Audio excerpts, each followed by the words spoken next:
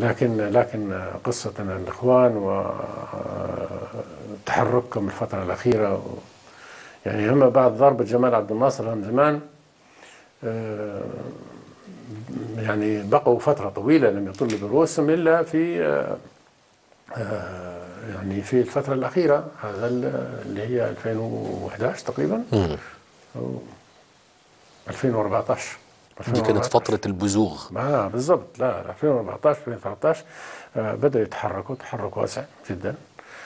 واكثروا الاتصال بليبيا 2012 و13 وهذا كله هذا كله طبعا آه يعني بدأوا الاتصالات آه كثير جدا ووفود تأتي من هناك وفود الجماعة جماعة أخونا هذا